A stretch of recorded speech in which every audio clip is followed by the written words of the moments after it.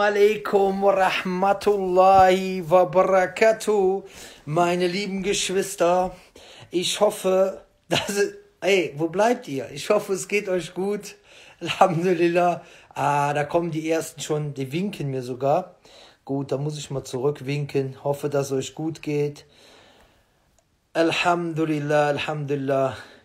Alles in Ordnung bei euch. Boah, boah, boah, die, boah, hier ist es so kalt in der Bude muss man die Füße hier auf die Couch drauf machen, damit meine Füße nicht, nicht, äh, nicht einfrieren. Naja. Okay, meine lieben Geschwister. Ich werde hier immer gefragt, als was arbeitest du? Ja? So, weil das ja so wichtig ist. so, dann frage ich euch jetzt mal, als was arbeitet ihr denn überhaupt? Hm? Erzählt mal. Erzählt mal, was ihr arbeitet. Möchte ich jetzt mal hören. So. Ich bin Reiseführer für Hatsch-Unternehmen. Nur mal so nebenbei, damit man Bescheid weiß. Aber es sieht momentan, es sieht momentan ganz alt aus. Keine Aufträge, kein Nix. Muss ich gucken, dass ich was sagen. Du bist in der Schule. Alhamdulillah. Okay. Du bist SI? Bäckerei. Sehr schön. MashaAllah. Cool. Jurastudent. Ah, ich dachte, die sind. das. Klempner, okay, Klempner. Alles klar. Also Student, Schülerin, Mashallah, Bauingenieur, Wesen, E-Commerce Manager, yo. Kfz-Lackierer, Mashallah. Ausbildung, Hotelfachfrau, sehr gut, Mashallah. Verfahrenstechniker, Besser Reiseführer um Rahmen 2017. Ach so, bester Reiseführer Umrah 2017. Jeder hat einen anderen Geschmack, Bruder, aber danke für das Kompliment. Diplom-Ingenieur, Schüler, Immobilien.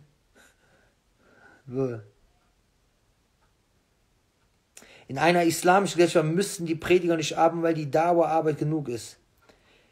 Ähm, ja, es ist ja eigentlich so.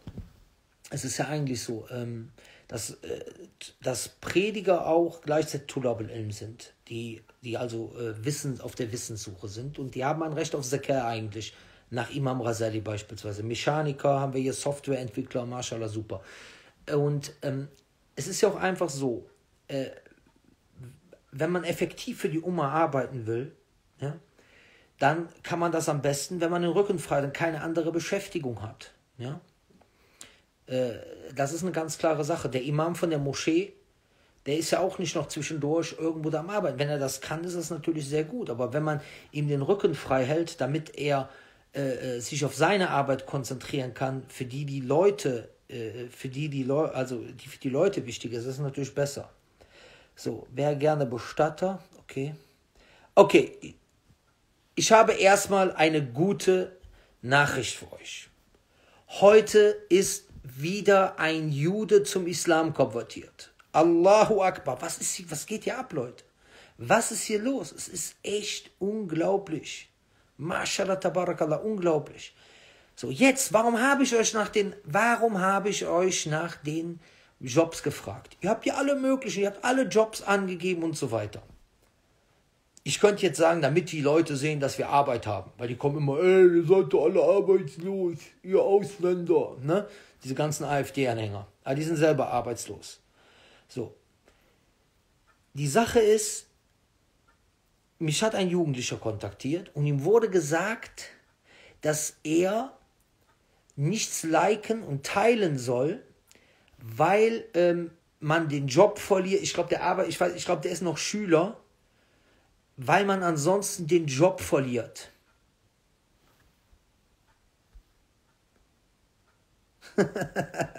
Gehst du ins Solarium, genau so sehe ich aus. Ne? Ich sehe, ich sehe haargenau so aus, als wenn ich ins Solarium gehen würde. So schön braun, so schön gebräunt, wie ich bin. Ich habe die Mondbräune. Kennt ihr die Mondbräune? Die Leute, die im Vollmond stehen? So. So. Welches Al-Bukhari ist gut zu kaufen für Ara äh, auf Arabisch für Anfänger? Äh, Bruder, ich, äh, ich habe selber eine Bukhari-Ausgabe äh, in einem Band. Ich habe die lieber in einem Band, weil die, weil die Nummerierung sehr gut ist und es ist übersichtlich, als wenn ich neun Bände habe. Ja?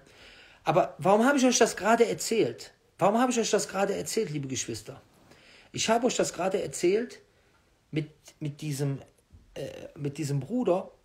Guck mal, die Leute werden so von uns abgehalten. Indem man denen sagt, boah, geh bloß auf die Seite, geh bloß nicht zu einem Vortrag, geh bloß nicht dahin, du kriegst voll die Probleme und so weiter und so fort. Ja? So.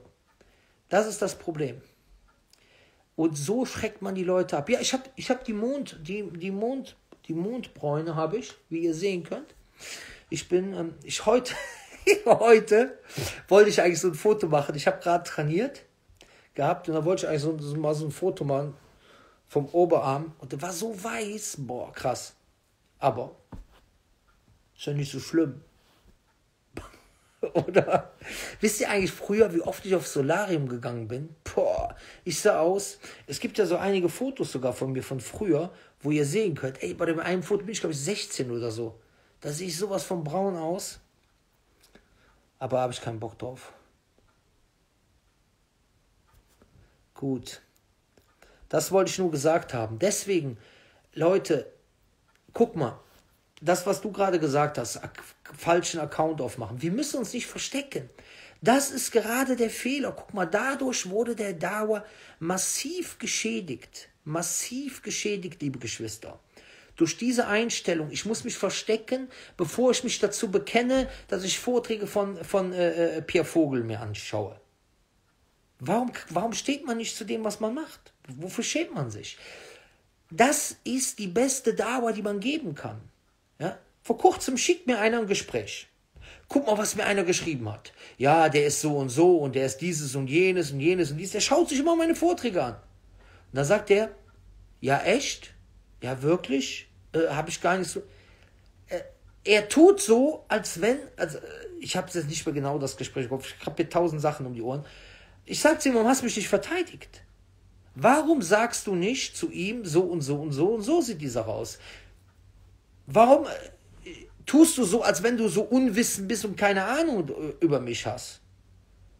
Da musst du direkt sagen, was erzählst du da für einen Quatsch? Du siehst den am jüngsten Tag. Direkt sagen, schick dem direkt das Video hier am jüngsten Tag. Eben ein Bruder, ein anderer Bruder, der macht auch eine Dauerseite.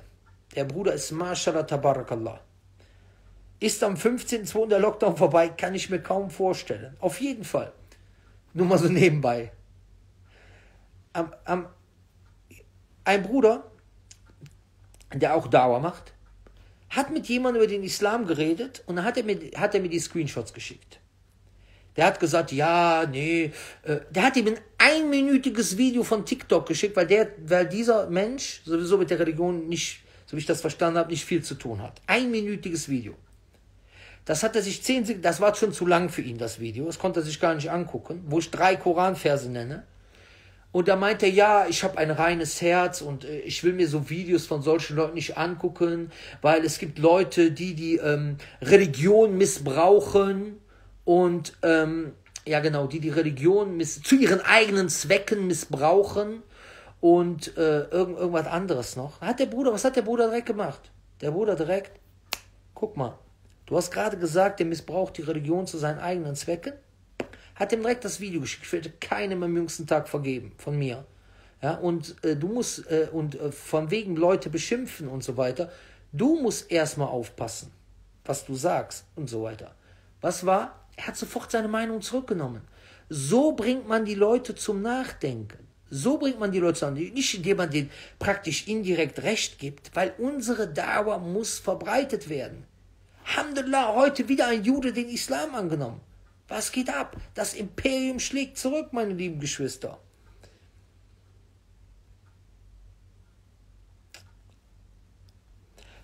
Der Prophet a.s.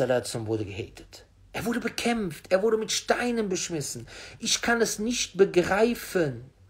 Ich kann es nicht begreifen, wie es Muslime gibt, die noch eine einzige intakte Gehirnzelle in ihrem Hirn haben, dass sie denken, bloß weil irgendwelche AfD-Anhänger oder Islamhasser gegen einen sind, ja, dass sie, dass sie, äh, äh, äh dass das bedeuten würde, dass ich, dass ich falsch läge.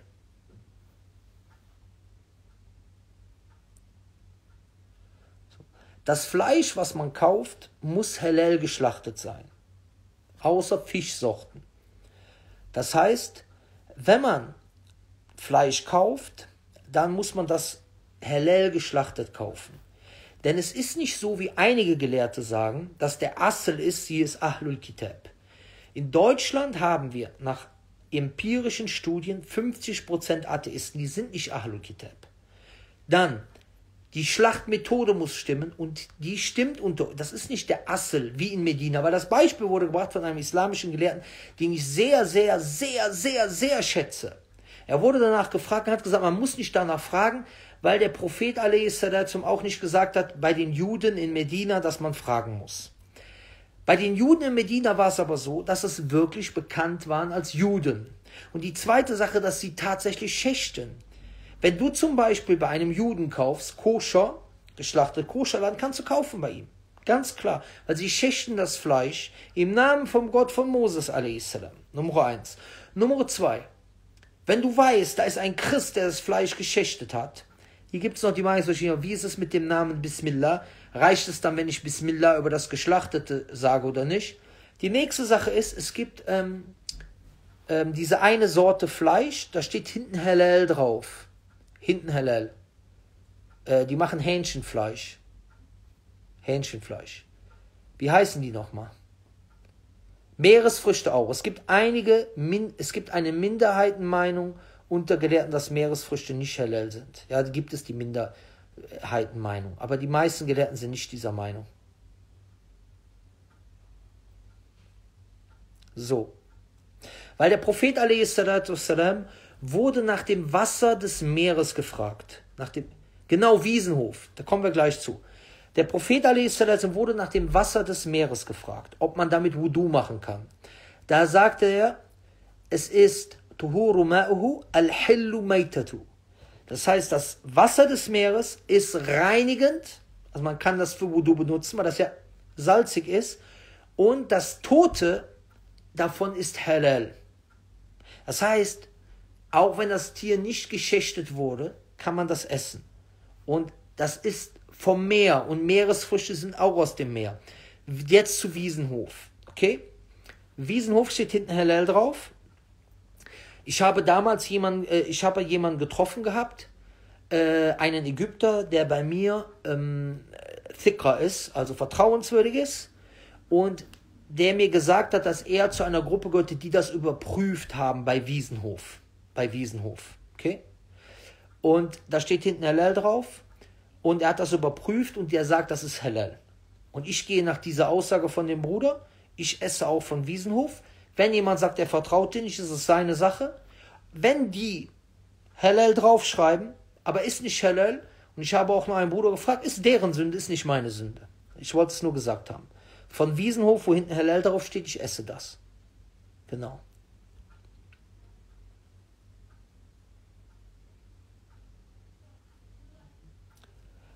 Hast du Kontakt mit Abu Bara? Ich hab, der hat mich letztens, letztens habe ich kurz mit ihm gesprochen Jetzt kommt wieder mit, hey, du hast ja gesagt, du hast eine Nummer nicht. Stimmt's? Kommen da welche? Ja, gibt es Möglichkeiten, ne? Entweder ich hatte die Nummer damals, ich habe sie jetzt, oder ich habe zum Beispiel mit jemandem telefoniert und Abul Barra stand neben dem. Wollte ich nur so gesagt haben. Da habe ich kurz mit ihm gesprochen. Döner, ja, ich mag Döner gerne. Boah, bei uns vor allen Dingen, da gibt es einen, da gibt es einen kurdischen Dönerimbiss. Oh, der ist sowas von Hammer. Allahu Akbar. Das sind so, das sind so Brüder aus, aus, dem, aus dem Irak, Shawani Bashi, absolute Weltklasse. Nein, mit dem Juden mache ich kein, mache ich kein äh, äh, Livestream. Ist Solarium haram? Erstmal. Solarium ist natürlich haram, wenn man es übertreibt und es gesundheitsschädlich wird. Okay, dann ist es haram. Dann muss man schauen, hm, wie ist das genau? ähm, eine Frau soll sich nicht entblößen außerhalb des Hauses ihres Mannes.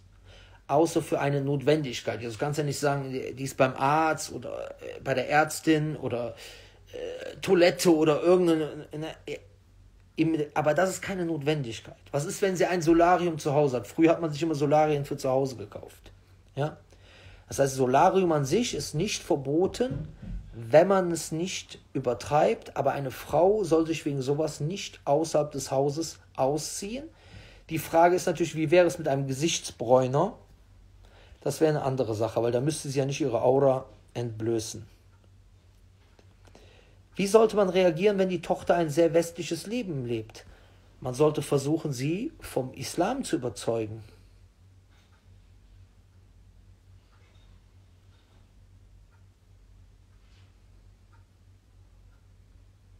Guck mal. Vom Juden koscher kann man essen. Manche Gelehrten sagen, man darf Gelatine essen, wo Schwein enthalten ist, weil es chemisch verarbeitet wurde. Okay, darauf gehe ich jetzt kurz ein. Ich habe einen Vortrag darüber, alles um uns herum ist Schwein. Okay. Manche Gelehrte sagen, man darf Gelatine essen. Schweinegelatine. Manche Gelehrte sagen, das darf man nicht essen. Erstmal, diese Meinungsverschiedenheit ist eine große Meinungsverschiedenheit. Große Meinung. Die geht zurück auf eine Messella, die nennt sich äh, Umwandlung eines Stoffes. Die wird in der Tahara in den Madhahib erwähnt. Ja? Und das heißt, dass ein Stoff zu einem anderen Stoff wird. Ja, zu einem anderen Stoff wird. Und die Malikiten und die Hanafiten sagen, das ist halal. Die Malikiten und die Hanafiten. Warum? Es geht zum Beispiel um die Messeller. Was ist, wenn ich Kot habe? Kot. Und ich trockne den Kot der Kot wird trocken, ich verbrenne den und das, der wird zu Asche. Ist diese Asche nun Asche oder ist diese Asche Kot? Wenn ich sage, diese Asche ist nun Asche und ich berühre diese Asche, oder ich habe diese Asche an meiner Kleidung und ich habe damit gebetet, dann ist das Asche und kein Kot mehr. Und dann darf ich damit beten. Andere Gelehrte sagen, Gelatine ist chemisch umgewandelt, aber wir wissen nicht, was daran Nejis ist, was daran schädlich ist. Und deswegen, das sind die Hambali und Schäfiden, ist es nicht erlaubt. Und Leute, ehrlich gesagt, ehrlich gesagt, ich kann es nicht begreifen. Ich kann es nicht begreifen in Deutschland, ja?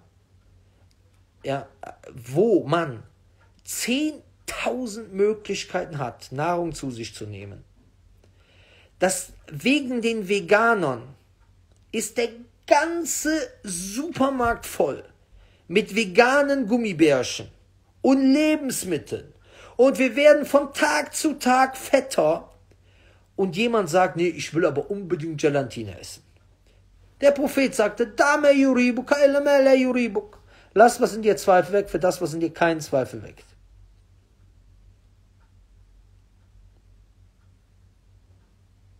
Wo, warum willst du wissen, wo der Dönerladen ist?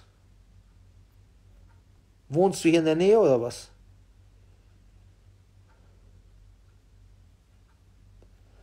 Döner mit Salat. Abul Barra, was soll ich weiter über den erzählen? Ist, äh, ist einer, Mashallah, ein Bruder, der, der einer der besten in Deutschland ist und Alhamdulillah, dass wir ihn haben. Alhamdulillah.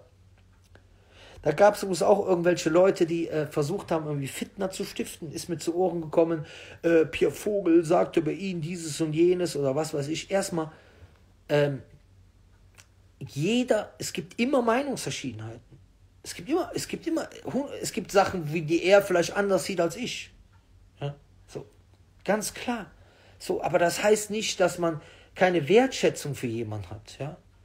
Äh, Imam Shafi und Ahmed Hanbal haben Meinungsverschiedenheiten, haben die keine Wertschätzung untereinander. Natürlich, wir sind jetzt nicht Imam Shafi und Imam Ahmed und Hanbal, aber ich meine das jetzt als Beispiel. Umar und Abu Bakr hatten Meinungsverschiedenheiten. Wir sind nicht Umar und Abu Bakr, aber ich will das als Beispiel geben. Natürlich gibt es Meinungsverschiedenheiten. Aber das sind keine Meinungsverschiedenheiten, die äh, ja äh, gravierend sind oder, oder was. Ja? Sind Aktien haram? Okay.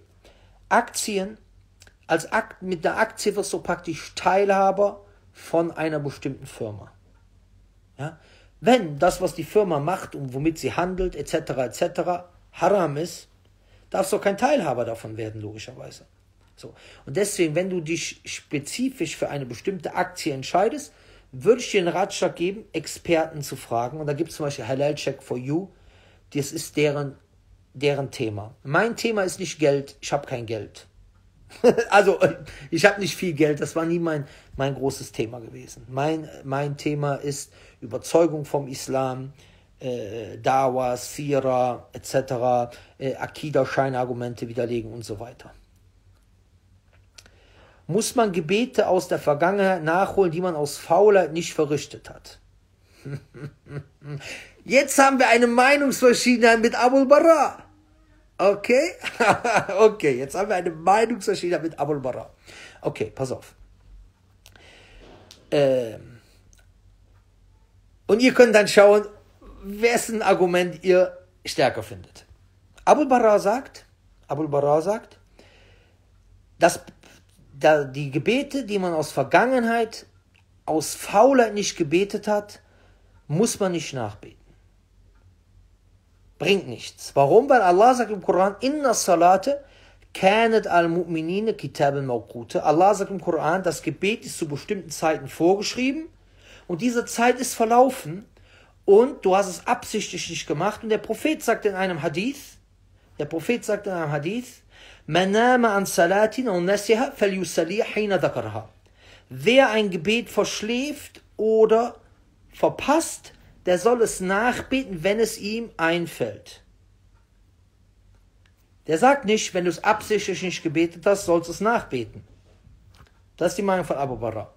Meine Meinung ist, meine Meinung ist, der Prophet sagt, wer ein Gebet verpasst hat, ver vergessen hat, Entschuldigung, vergessen hat oder verschlafen hat, der soll es nachbeten, wenn er sich daran erinnert.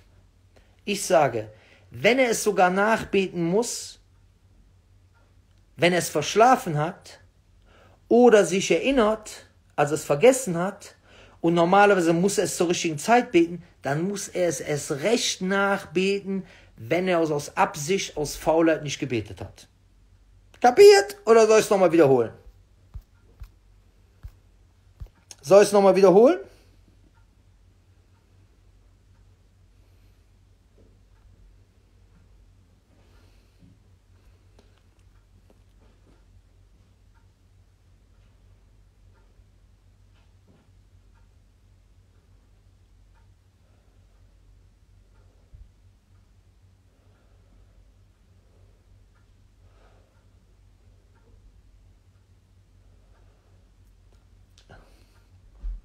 Bruder, was die Madhaib, was die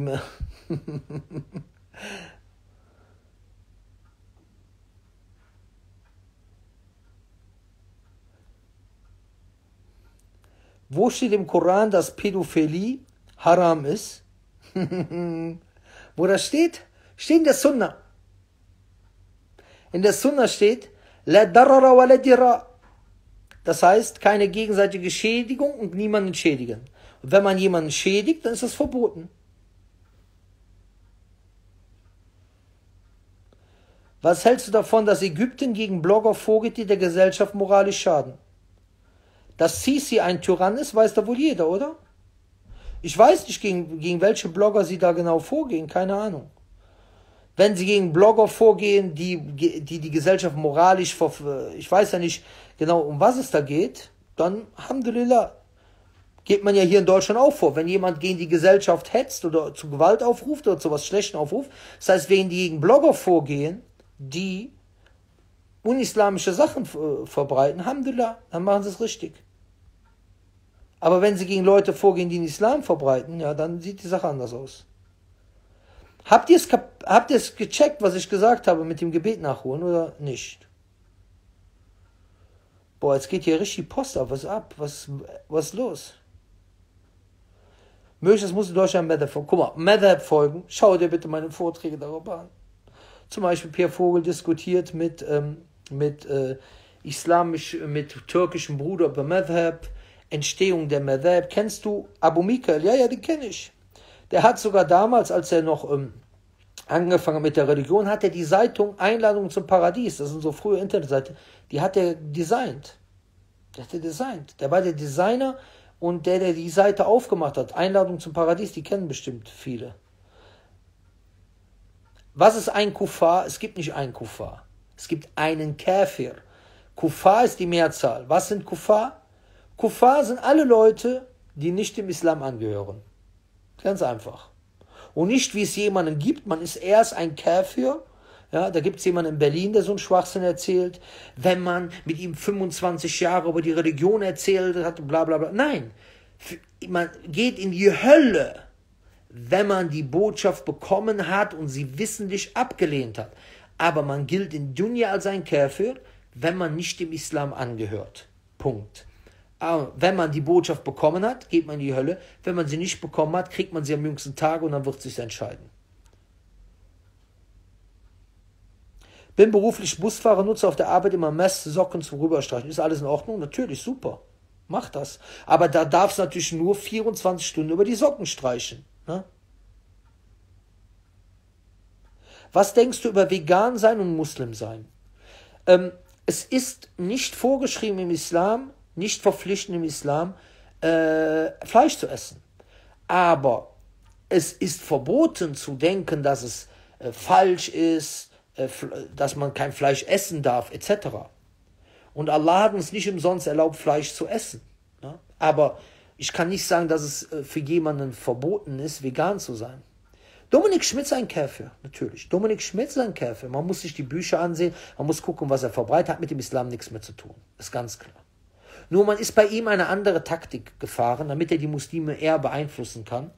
Weil er ist ein äh, Frontrunner von, von Claudia Danschke. Und sie haben, er, er wird von ihr bezahlt. Also, die, was heißt von ihr? Das Buch wurde geschrieben, es steht auch hinten drin. Ich habe das direkt gedacht, die ganzen Thesen, die er verbreiten will. Ich habe sofort eine Einigungsfreiten gefragt. Das sieht aus wie die Thesen von Claudia Danschke. Er soll genau den Dorftrottel, ähm, Ex-Salafisten darstellen, ja. So, ja, ich war früher ein Opfer, ich war am Kiffen, ich hatte Mädchen, ich hatte dieses, jenes. Und da habe ich mir gedacht, ey, wie kann ich denn noch cooler sein? äh, auf die Penne, Penne, Penne, anderes Wort für Schule, sprich, sagte kein Mensch mehr, hatte ich keinen Bock mehr gehabt und so, ey, und dann wollte ich cool sein, habe ich mir Jalabia angezogen, ne? so auf diese Art und Weise, auf jeden Fall, auf jeden auf jeden Fall. Und dann denke ich, boah, das sind alles so, der soll so das typische Klischee vom Opfer darstellen wie das Claudia Danschke über Dasche. Es sind alles Leute, die nicht gefestigt waren, im jungen Alter dahin gegangen sind und bla bla bla. Und dann, der hat voll auf mich abgesehen. Ja? Der hat sich voll auf mich, der, der Typ, äh, der Typ, der Typ hat voll auf mich abgesehen im Buch. Dann schreibt er in dem Buch, was schreibt er? Äh, genau. Er hat immer gefragt, ja, hast du eine Frau für mich, hast du eine Frau für mich und so und so und hin und her. Und dann hat er geheiratet. Und da habe ich zu ihm gesagt, wie viele Frauen hast du geheiratet? Äh, zwei oder drei? Aus Spaß. Aus Spaß, ja. Und dann auf jeden Fall schreibt er, das werde ich ihm nie verzeihen. Was, was, was habe ich denn gemacht? Was, was war denn jetzt so schlimm? Subhanallah. Auf jeden Fall Hinten, dann habe ich hinten in dem Buch geguckt, dann steht da, mein äh, Dank geht auch raus an Claudia Danschke, ohne die dieses Buch nicht möglich gewesen wäre. Claudia Danschke, ja, ich will nicht zu beleidigend werden. Ich will, ich, ich will nicht über ihr Äußeres reden.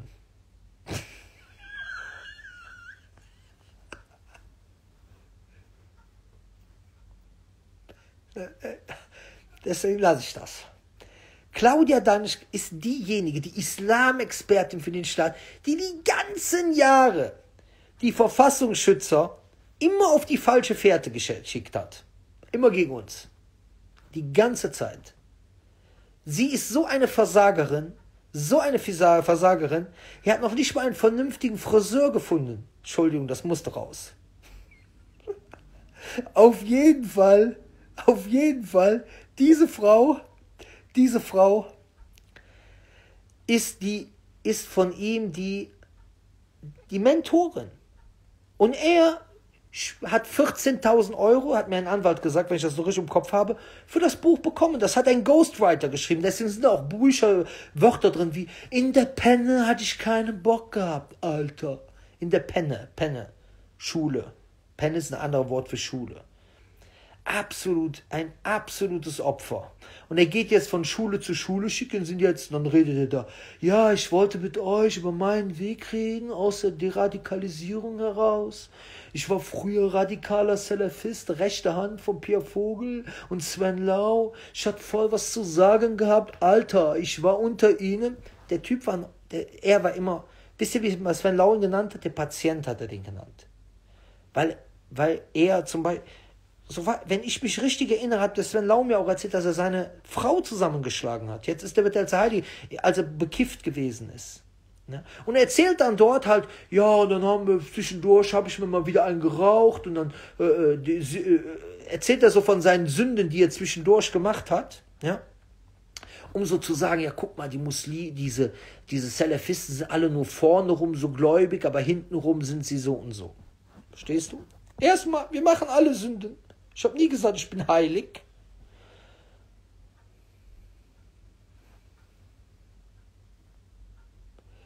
Ich bin Frau und nicht islamisch verhüllt, gehe ich sicher in die Hölle, obwohl ich sonst die meisten islamischen Regeln befolge. Wer hat gesagt, dass eine Frau, die kein Hijab trägt, sicher in die Hölle geht? Hat das irgendjemand gesagt? Also hast du das irgendwo gehört? Wer sagt das? Aber ich will dich natürlich jetzt. Aber ähm, ich finde die Frage auch falsch. Weil, warum fragst du, äh, gehe ich sicher in die Hölle? So nach dem Motto, ja, okay, wenn ich nicht sicher in die Hölle gehe, dann, ähm, dann kann ich ja weiter ohne Hijab rumlaufen. Das sollte nicht die Einschätzung sein. Das sollte nicht die, das sollte nicht die, äh, die Einstellung sein, die wir haben. Wir sollten nicht sagen, ja, äh, wir sollten nicht sagen, ja, wie ist das denn? Ähm, sollten wir, äh, ist das die Sünde so groß oder ist die Sünde so groß? Ja, okay, wenn sie so groß ist, die Sünde, dann äh, lasse ich es mal lieber. Wenn sie nur so klein ist, dann lasse ich es lieber. Wir sollten lieber schauen, wem sind wir ungehorsam gegenüber. Ja? Und man sollte sich immer vor, vornehmen, sich zu verbessern. Hm? Aber im Allgemeinen sagt Allah in Surah 4, Vers 48, Inna Allah la yaghfiru ayyushraka bi wa yaghfiru maduna dhalika liman yasha'. Allah vergibt es nicht, dass man ihm Götter beigesellt, er vergibt, was darunter ist, wie er will. Mit Hijab verhungert man in Deutschland. Fürchte Allah für solche Aussagen. Mit Hijab In Deutschland verhungert gar keiner.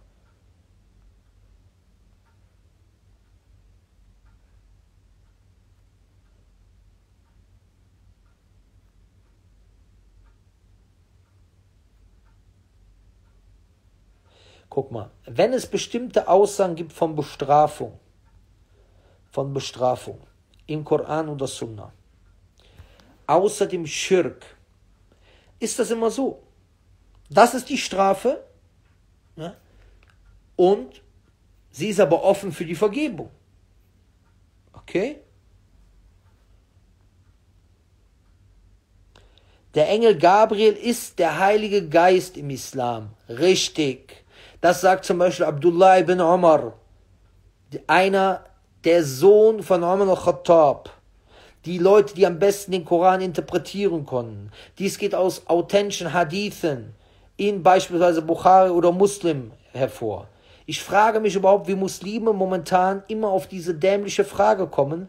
Wahrscheinlich von diesem Bekloppten, der erzählt, und den habe ich gleich wieder widerlegt, da kommt gleich in Schade eine Widerlegung, wo er über das islamische Totengebet redet, das kommt gleich, ja, hier die Prinzessin aus Amerika, die angeblich Arabisch kann. Das ganze Buch ist voller Arabischfehler. Er kann noch nicht mal die einfachsten Wörter deklinieren in der arabischen Sprache.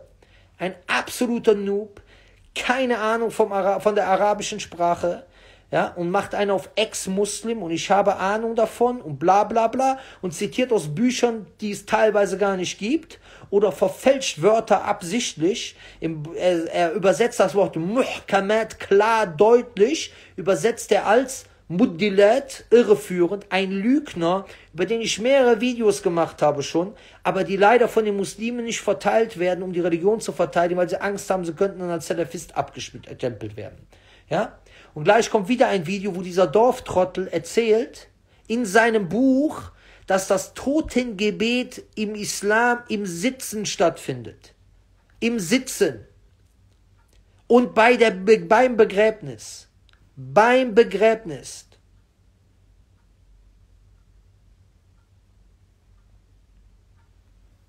Ja. Das Buch ist sowas von voll mit Schwachsinn. Es ist abs der absolute Wahnsinn. Der absolute Wahnsinn. Aber ich verstehe nicht, warum die ganzen Geschwister, warum die ganzen Geschwister sich diesen Schrott angucken. Mit jedem Klick auf diese Videos fördert man sein Beschimpfen des Propheten Mit jedem Klick auf die Videos fördert man sein Video. Dieser Typ hat gar nichts studiert. Dieser Typ ist ein absoluter Vollidiot. Es ist unfassbar, wie jemand äh, total sicheres Auftreten bei völliger Ahnungslosigkeit hat, alles falsch macht in der, in der arabischen Sprache, Sachen absichtlich auslässt. Der, der erwähnt einen Hadith, dann lässt er ein Stück aus, ein Stück aus, ja, und übersetzt dann, äh, bei, in der arabischen Original steht das, steht das, was weiter da steht, und in der Übersetzung lässt er es einfach aus und dieses Weitersetzung verändert die ganze Bedeutung des Hadithes. Habe ich auch einen Vortrag darüber gemacht. Denkst du nicht, dass Sven Lau ein V-Mann ist? Nein, der ist mit Sicherheit kein V-Mann. Auf keinen Fall. Wenn Sven Lau ein V-Mann wäre, dann, guck mal, ein V-Mann arbeitet doch nicht offensichtlich, offensichtlich im Aussteigerprojekt mit.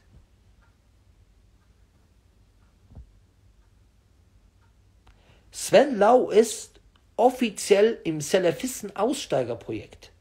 Ein V-Mann ist jemand, der in der Mitte ist, um, um, äh, äh, um äh, Informationen zu sammeln. Das ist ein V-Mann. Sven Lau ist, im, ist offiziell im Aussteigerprojekt.